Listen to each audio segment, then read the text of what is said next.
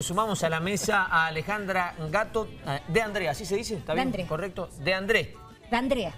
de Andrea, para decirlo correctamente. Rectora del IES 9029 de Luján de Cuyo. Vamos a hablar sobre un conversatorio sobre el aprendizaje basado en proyectos, es decir, cómo ir modificando y adaptando la forma de aprendizaje que quizás todos hemos tenido etapas distintas. Yo ya estoy en los 40 años, Rodi anda por ahí, 23. ustedes un poco menos, y quizás esto ha ido mutando también, ¿no? Durante el tiempo. Entiendo que eso ha pasado, ¿o no? Totalmente. Y en realidad eh, estas metodologías activas que, que trabajan el aprendizaje basado en proyectos, eh, trabajan que el centro del, del- del conocimiento sea el estudiante en función de problemáticas que hoy eh, están muy instaladas a partir de la pospandemia, ¿no? La A ver, pospa- bá- bájenmelo a la tierra, así termino de entenderlo bien. Basada en el estudiante ya directamente metido En el, centro, en el centro del aprendizaje está el estudiante y como facilitador está el docente.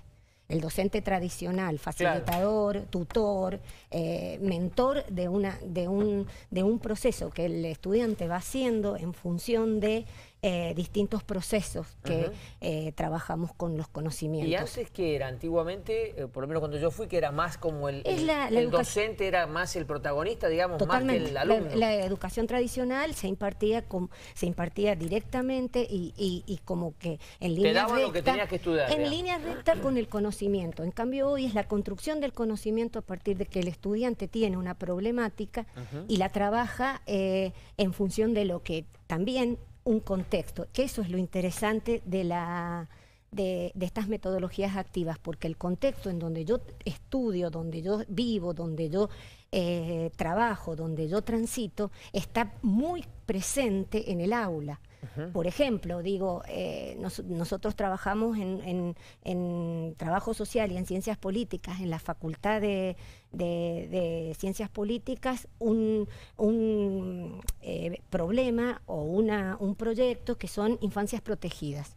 De, a partir de las infancias protegidas, de esa temática, trabajamos todos los entornos virtuales de aprendizaje que, que realizamos. Y el alumno se tiene que involucrar a través de algún proyecto. A través de un proyecto y a través de preguntas, eh, eh, preguntas desafiantes y preguntas eh, que en realidad eh, motiven al, al estudiante a trabajar una temática. Puede ser que en mi época le hayamos dicho trabajo de campo o algo parecido, que eran muy poquitos los que Sí, hacíamos de sí, ese sí, tipo, puede ¿no? ser, puede ser que Digo, el no, era, no era algo que Sí. era preponderante en la forma, El pero de vez en cuando nos daban algún El trabajo de campo y las prácticas profesionalizantes que nosotros teníamos antes, hoy están muy relacionadas también con las metodologías activas. Estas metodologías activas bien no son nuevas, son de hace muy muchos años. Sí. El tema es que hoy también la pospandemia ha, ayudado a que nosotros, los docentes, centremos eh, la atención como facilitadores y no como meros transmisores de conocimiento, Claro. ¿no? Exactamente. Qué difícil en esta época en el que después de la pandemia, con tanta tecnología, aprendimos a hacer las cosas de otra forma, que es, te dan una actividad online, la resolvés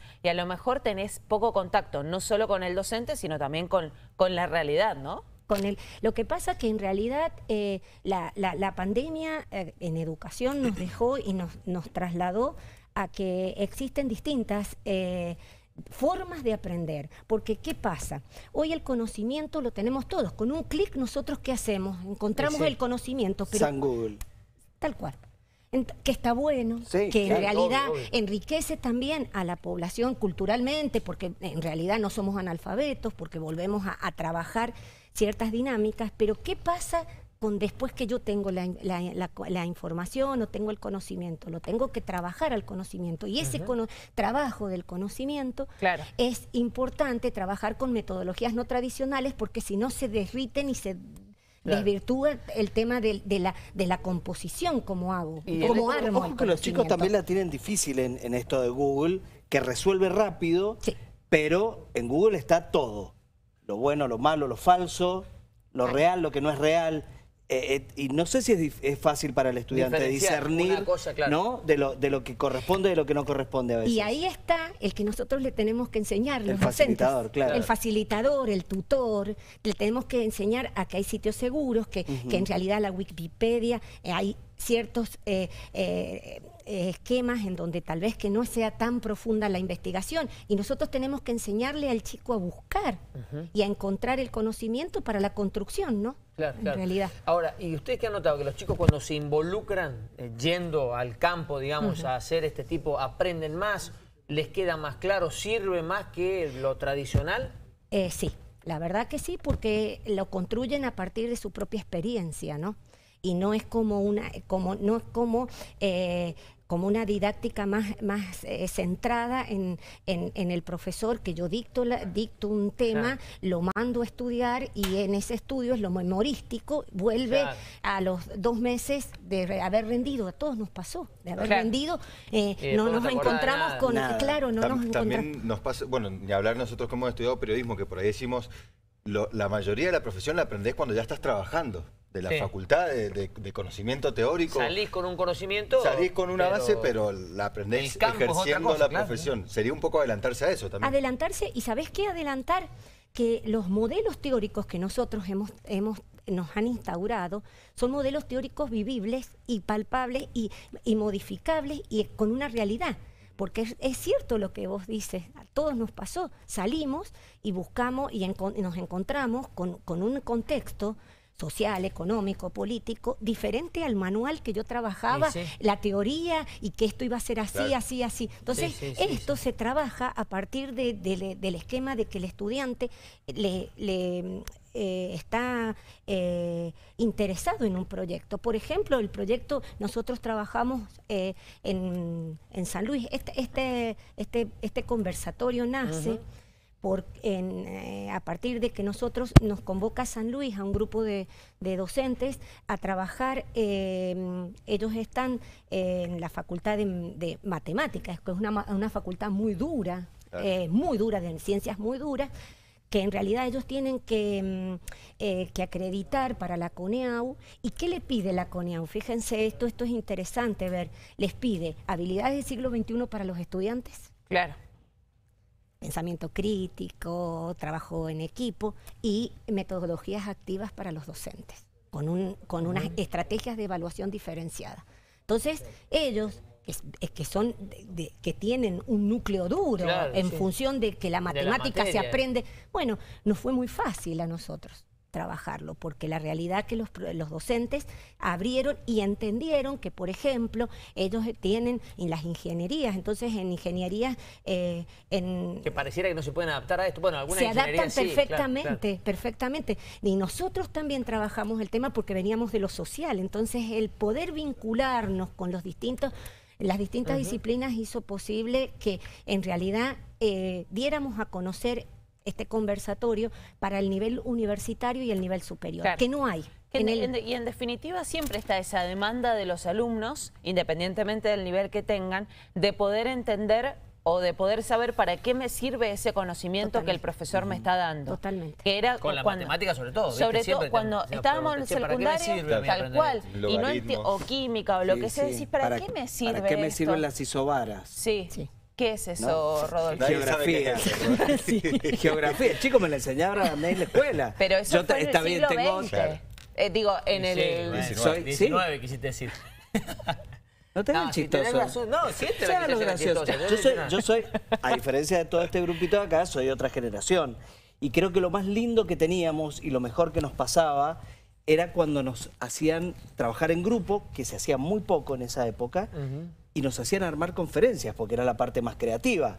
Era investigación, era ir a la Biblioteca San Martín, a buscar libros. Claro. Digo, era, era la parte más, más creativa y creo que era donde más aprendíamos. Claro. ¿No? Porque esto que decías vos, es que el, el- el- el docente la tiene muy difícil hoy, que es tratar de generar en el alumno el interés. Totalmente. Y es lo más complejo. Cuando vos tenés una plataformas o internet que te, te roba todo el interés del, Claro. del alumno. No, Claro. acostumbramos a que nos llegue todo fácil. Y te dispersa, aparte. Absolutamente. Porque entraste en Google por un tema y te fuiste por otro, por Sí. otro, por otro, y por hay otro. tutoriales hasta para hacer eh, Todo. un, eh, una obra vial.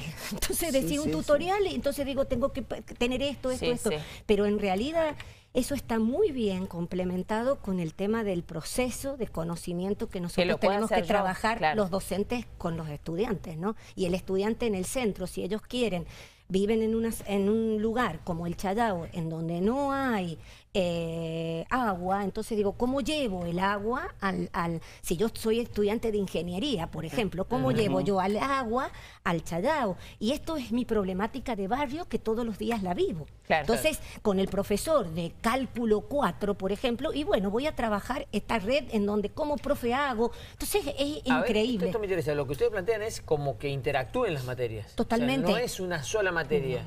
Totalmente. El, el aprendizaje basado en proyectos trabaja, por ejemplo, en el ciclo, en el primer semestre, con todas las materias del primer semestre. Entonces, lo que yo veo en cálculo, lo que yo veo en, en química, lo que yo veo en física, lo que yo veo en ambiente, todo esto va relacionado a que yo quiero llevar a mi barrio agua. Claro, claro. Está Muy bueno. en bueno. donde quiero llevar a mi barrio o, a- o- o quiero eh, lograr que en mi pueblo exista tal cuestión, ¿no? En Lo abarco por las diferentes áreas. Exactamente. Y a través de la escuela hasta quizás puedo generar una solución.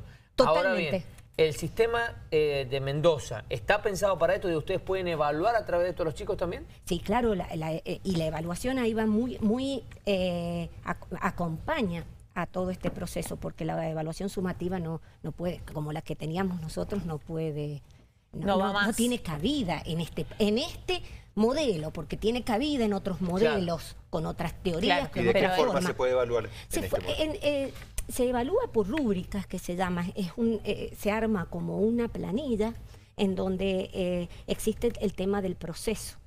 Y el proceso es un proceso continuo, en donde yo, yo te voy evaluando a vos no con un, un 0 o con un 1 o con un 10. Yo evalúo el proceso tuyo porque ¿qué es lo que nosotros todos, los que trabajamos en educa- educación, creemos? Que todos los estudiantes pueden. Y a partir de que todo el estudiante puede, cada uno tiene su, su tiempo. Yo Claro. voy a tener y mi su tiempo talento y, y su y expertise. su creatividad, Claro. como decía Roy. En realidad, esas son las habilidades del siglo XXI que yo tengo que explotar en los chicos. Y esto- y, el- y la evaluación sí tiene que existir, pero es una evaluación en donde es un proceso, un proceso de, de- de que no es sumativo, es un proceso de alcances. Eso es mucho que- más difícil, no solo para los estudiantes, que a veces estudias para el 10. No sé si los estudiantes siguen chipeados de esa forma.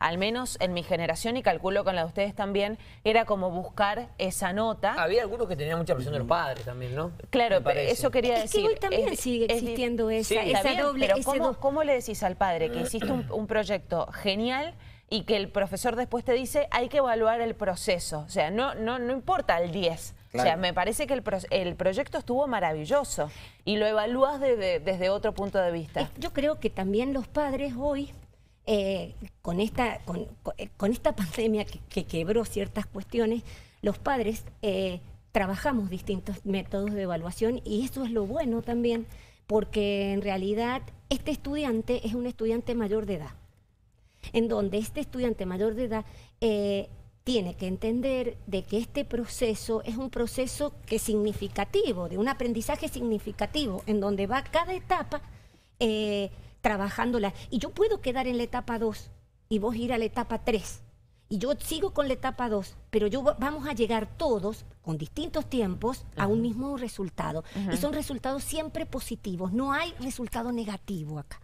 Acá no existe el, el, el- Del desaprobado. el desaprobado. Hay un proceso. Lo logró más, lo logró menos. Pero todos lo logran Claro, al proceso claro. porque tenemos tiempos diferentes. No es que vamos en el, en- en el primer semestre terminar. Bueno, este, este, este grupo se complicó, no, no entendió, pero por supuesto que puede pasar estas cuestiones. ¿no? ¿Y el proyecto surge de los alumnos o de los No, profesores? de un grupo, de un grupo de O docentes. sea, eh, De un- elaboran una serie de, un de- grupo de, de docentes, propuestas. de propuestas en donde sumamos a, a la Facultad de Ciencias Políticas, sumamos también a la- al Departamento de Ciencias de la Educación de también de la de Cuyo y el, el Instituto de Educación Superior, la Facultad de, mm, de Medicina y eh, la Facultad de San. Luis, en donde este conversatorio es un primer conversatorio, que después, ¿qué queremos hacer? Sacar una narrativa de esto Claro. para publicar. Porque no, hay- no hay, no hay material, no hay material en el nivel eh, universitario ni uno piensa mucho cuando habla de educación, inmediatamente piensa en docente-alumno. Sí. El docente le baja la información al alumno, ¿no? Digamos, básicamente. Ahora, Acá hay un trabajo donde se han unido los docentes e interaccionan los docentes. Totalmente. ¿Qué pasa con los alumnos?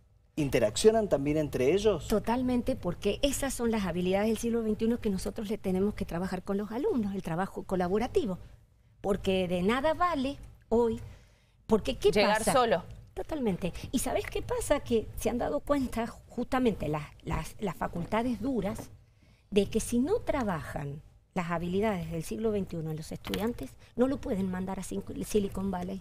Porque Silicon Valley es trabajo en equipo. Entonces mandan a un robot, un chico bárbaro, pero no se Claro. logra, no se logra, Interaccionan. eh, no, no interacciona y no logra entender el contexto. Entonces el contexto lo tenemos que, si todo eh, eh, aquí es trabajo colaborativo hoy.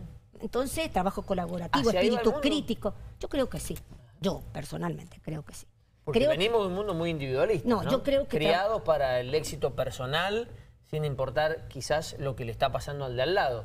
Esto pareciera cambiar un poco el paradigma. Sí, decir, yo bueno, creo que en, el- en los países, en el primer mundo, yo creo que lo colaborativo hoy no les ha quedado otra que decir, bueno, trabajemos nosotros cinco porque vamos a lograr esto. No voy a lograrlo ni yo, ni Claro. vos, ni vos, porque es en función también de una cuestión económica, ¿no? Vamos a ser más rentable para nosotros que yo ir solita. Claro. Esto es lo que tenemos que hacerles entender a los estudiantes. Los estudiantes tienen que tener espíritu colaborativo, solidaridad.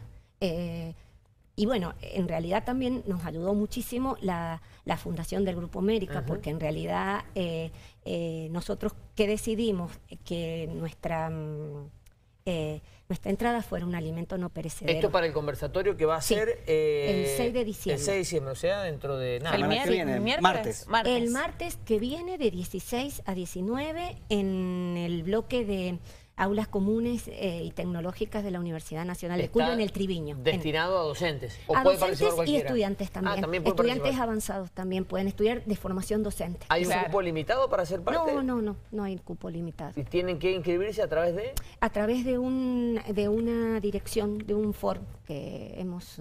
¿Podemos darlo o no lo tenemos ahí? Le pregunto a la producción, así lo ponemos en pantalla ya que estamos, para que ustedes tengan claro cómo pueden inscribirse. A cambio de eso tienen que dar un alimento Un no alimento perecedero, no perecedero, sí, en donde la, la Fundación del Grupo América también va a estar y también le vamos a reconocer porque realmente este trabajo social también a nosotros nos interesa, porque en la realidad eh, tenemos que tener una militancia social en este momento Claro. importante. ¿Se, se imagina pu- pudiendo ampliar esto a toda la educación? Porque acá En estamos realidad, apuntando ustedes no, no, en realidad en a- primaria, en primaria y en secundaria acá Mendoza lo hace. Ajá. Es pionera. Sí, sí, lo hace. Es bastante Lo hace. transversal. Lo Por hace, ejemplo, sí, el sí. tema de la que, que es un, un- un debate y la verdad es que es muy poco lo que se da, pero en educación sexual el- yo creo que la lógica es que sea transversal a todas A las, todas las las materias. materias. Creo que ese puede ser un- un, transversal buen a un diseño curricular. Eh, claro. ¿no? De cualquier... de- O sea, no es que tenés una cátedra de educación sexual, lo que tenés es docentes que dan educación sexual en el contexto de su materia. de geografía y en contexto Exacto. de historia, en contexto porque pueden uno... En un trabajo de San Luis fue hiper interesante y eh, rapidito lo cuento, eh, una profesora en, eh, en Piedras Preciosas, eh, ella es geóloga, eh, quería trabajar las gemas en el cine. ¿Cómo es la representación social de las gemas en el cine? Los diamantes. los- interesantísimo, interesantísimo el, el- el proyecto que no se quería. me hubiera ocurrido jamás. Bueno, ¿no? las gemas en, la- en el Claro. cine. ¿Cómo, ¿Cómo es la representación de Claro. Tiffany, de toda esta cuestión a partir del tiempo? Y el chico estudia gemas. Claro. Claro. Otra cosa podría ser la representación de Diego Maradona en absolutamente En todo. todo. Yo lo veo a Maradona Ese, es el proyecto que él Ah, llevaría adelante. Está Creencias bien. populares, sería una cosa así, por ponerle un nombre un poco más, más académico, si se quiere. Está, está más cerca de la psiquiatría que otra cosa, pero Bueno, está bien, no me Si por chicos. nombrar una carrera. No hagan leña del árbol caído. Bueno, esto es el 6 de diciembre, desde las 4 y hasta las 7 de la tarde en la Universidad Nacional de Cuyo. Pueden inscribirse, está este, justamente eh, auspiciado por la Fundación Grupo América, por eso es que piden un alimento no perecedero que lo va a administrar obviamente Para la un Fundación. eh, merendero que es una asociación civil, eh, Isabel de las Heras es el merendero. Bien. Que van a Eh, estar allí también ellos van a ser- recibiendo, recibiendo las donaciones. Perfecto. Eso es lo que tienen que hacer, no, hay- no se pide otra cosa para poder participar de este conversatorio que resulta muy interesante y del cual nos ha hablado Alejandra Gato de Andrea, que eh, nos ha comentado esta situación. Alejandra, muchas gracias, es muy amable gracias a y todos, bueno, ustedes. está interesante, vamos a seguirlo, seguramente nuestros compañeros de la Fundación nos van a tener al tanto de lo que resulte ese 6 de diciembre. Ha sido muy amable, ¿eh? Muchas gracias.